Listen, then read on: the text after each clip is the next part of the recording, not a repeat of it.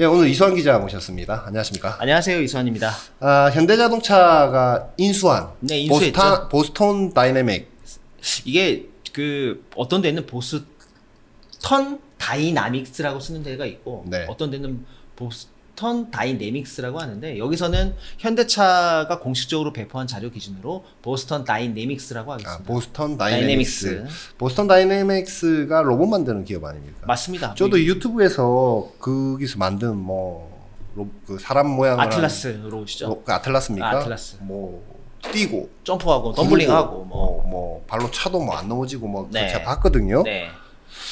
어, 되게 재미있는 재미있다. 우리가 어릴 때도 뭐 로봇 만화 영화 이런 것도 많이 네. 봤기 때문에 재밌다인데 어, 그 회사가 꽤 경쟁력이 있나 보죠. 이게 그 뭐 오래된 회사예요. 네. 1992년에 창업을 한. 회사인데 네. 당시에 이제 이 회사 이제 스토리 옛날에 올라왔던 영상들을 보면 네.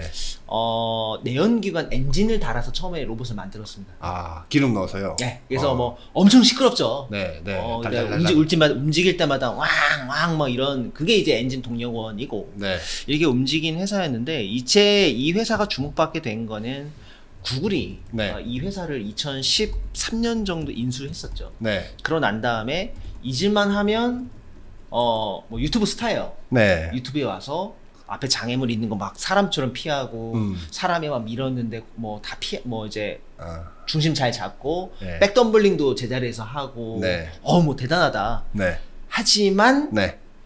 그런 기술을 가지고 있는 것과 네. 상용화해서 쓰는 건 별개 이슈겠죠. 그렇죠. 특히 근래 뭐 이제 2020년 어, 이후에 AI 기술이 많이 접목이 되면서 네. 예를 들면 이제 테슬라라든지 많은 기업들에서 휴머노이드 로봇에 대한 기술이 많이 올라와 있거든요. 어, 지금 뭐 꽤 올라오고 있는 예. 것 같습니다. 그래서 이제 이미 이 보스턴 다이내믹스는 구글이 이제 인수했다가 매각했고 그 뒤에 이제 소프트뱅크가 또 인수했다가 네. 예, 비교적 최근에서야 이제 현대차가 2022년 1년인가요? 2020년 12월입니다. 예, 네. 그때 이제 인수했으니까 어떻게 보면 세계적인 기업인 구글, 소프트뱅크가 인수했다가 판매한 기업의 세 번째 주인이죠. 그러니까 지금 지분 80%를 약 11억 달러, 네, 맞습니다. 1조가 넘는 네. 큰 금액을 주고 인수했고 2021년 6월 21일에 이제 규제 승인 등 거쳐가지고 인수가 공식 완료가 되었다. 이거 어 말씀하신 대로 되게 오래된 회사입니다. 네, 오래됐죠. 1992년에 MIT에서 음. 이제 만들어져 갖고 네. 어, 뭐 대학에서 분사했다 표현이 좀 이상한데 뭐, 뭐. 하여튼 뭐 거기서 사내 벤처 아니 사내 벤처 학교 벤처죠. 네, 그래서 네. 이제 메사추세츠주 월섬에 이제 본사가 여전히 이제 거기 있죠, 거기에 있는데 이게 주요 로봇 제품이 보면 빅도그 뭐 다리 네 개로 이루어진 거 큰 게 있어요. 군용으로서 이제 만들려고 했던 거. 그리고 아틀라스가 있고 이족 이거 아까 얘기한 일단 이제 뭐 그- 주로 유튜브에 많이 나왔던 친구. 네, 네. 스팟이라고 이제 개죠, 개, 개. 개처 예. 그러니까 개보다는 뭐 하여튼 네 발로 걷는 네, 탐사 사족 보행이라고. 사족 보행 네. 로봇인데 2019년에 첫 상용 모델이 나왔습니다. 네, 맞습니다. 핸들이라고 이제 물류 창고용 박스 이송 로봇이 이렇게 한 크게 네 가지 정도 뭐 그 정도 있-. 있는 것 같은데 오늘 이제 지금 얘기하실 내용은 그 스팟에 대한 얘기 아닙니까? 이 스파, 그러니까 현대차가 결국은 뭐 쉽게 얘기하면 이제 자동차 기업인데 제조업을 영위한 자동차 기업인데 네. 이런 로봇 기업을 인수해서 뭘 할 거냐. 기존에 이제 한 가지 이제 사례를 들면 아주 유명한 로봇이 하나 있었죠. 혼다의 아시모라는 그러니까 아주 유명했죠. 네. 그러니까 아주 일- 일찍 개발도 됐고, 근데 네. 정작 혼다는 혼다도 자동차 회사 물론 원동기 하던 회사에서 시작됐지만 그 아시모 사업 접었거든요. 너무 일찍 한 거 아니에요? 너무 네. 일찍 해서 너무 일찍 접었는데 네. 그러면 뭐 소니도 이제 로봇 개 이런 거 완고 팔기도 했지만 네.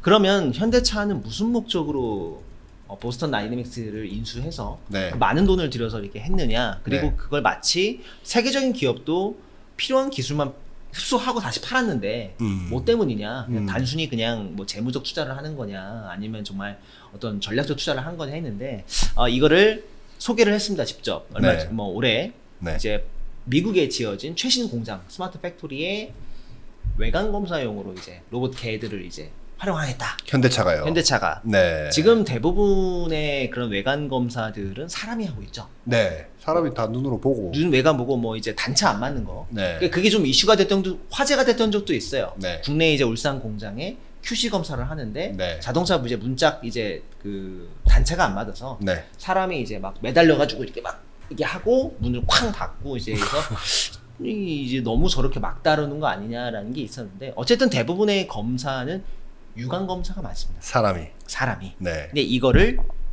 로봇을 이용해서 대체하겠다는 것인데 로, 개 풀어가지고 이제 그, 그렇죠. 어, 검사시키겠다. 예, 검사하겠다는 건데 중요한 건 이제 앞으로 이런 시장이 뭐 얼마 뭐 얼마 전에 이번 주죠. 이번 주에 TSMC 웨이저자가 이제 실적 발표 엄청난 실적을 거두면서 앞으로 전기차보다는 10배 이상 큰 시장이 휴머노이드 로봇 시장이 될 거다. 음. 우리도 거기에 하고 뭐 폭스콘도 지금 뭐 이제 음. 어 여러 세계적인 기업하고 로봇에 대한 얘기도 좀 하고 있는데 요 스팟의 어쨌든 원동력이 배터리거든요.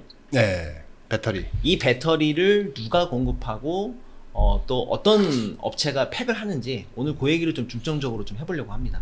누가 공급하니까? 일단 스팟 1은 네. 어, LG 에너지 솔루션이 공급했었고요. 네. 어, 그리고 packer는 파워로직스라는 기업에서 담당을 했었습니다. 네. 했었고 그다음에 이제 스팟 2가 이제 나오는데 이제 스팟 2는 어, 삼성 SDI가 수주를 땄습니다. 그렇군요. 땄고 언제요?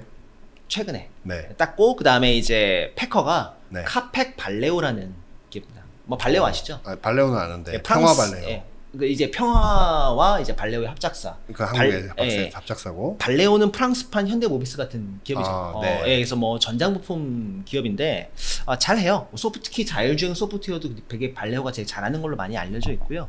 그래서 어, 이 스팟 2에 들어가는 배터리를 삼성 SDI가 공급에 성공했고 LG를 밀어내고 성공을 했고 네. 카펙 발레오가 팩을 하고 카팩 발레오. 발레오. 예, 그건 발- 뭐 미국 기업입니까? 아, 한국 합작사입니다. 아, 한국의 합작사. 아, 합작사고요. 근데 이 회사 이제 중요한 건 이제 수량이겠죠.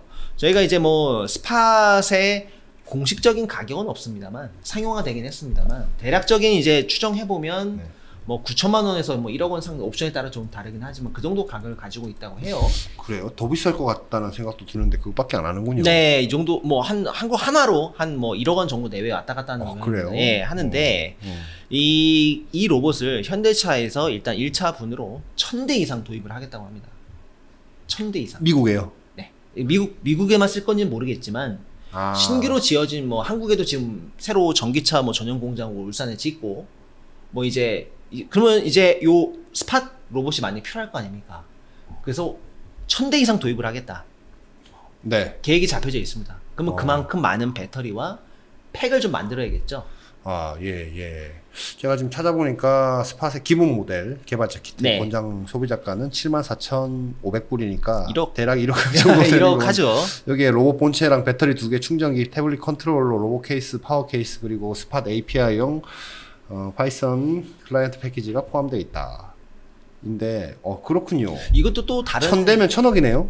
뭐 그, 이론적으로는 그렇습니다. 예. 이론적으로 그렇고 천억 더 들 것 같은데. 네. 예, 근데. 다만 이제 이게 전기차 대비는 물량은 적겠죠. 당연히 적지만 네. 근래에 이제 그 여러 응용처들이 많이 생겼어요. 대표적으로 네. 좀 뭐 몇 년에 걸쳐서 지금 캘리포니아 주에 산불이 많이 나지 않습니까? 네. 뭐 아주 그 대형 산불인데 산불을 진압한 것처럼 보였다가 잔불 정ля로 사람들이 드- 소방관들이 들어갔다가 갑자기 바람 불어가지고 불이 거세게 해서 큰 이제 사고가 발생한 적도 있었습니다. 네. 그런 위험한 현장에 이제 이 로봇을 투입해서 이 안에 불씨가 있는지 없는지 잔불은 제대로 지금 제거가 됐는지 이런 것들을 검사하는 것들을 하게 되고요. 앞으로 예, 앞으로 이제 그 이미 투입이 되고 있는 상황이고 아 그것은- 그리고 네. 두 번째 시장은 어, 이번 정부 들어서 이제 하늘 원전 1호기 네. 가동 중단했잖아요. 해체를 해야 되는데 안에 사람이 들어가기 어려운 부분들이 있거든요. 네. 그런 부분들에 로봇을 투입해서 음. 우리가 이제 검사도 하고 음. 해체 작업을 원전 해체 작업 이것도 굉장히 큰 시장으로 성장할 걸로 좀 예상이 되는데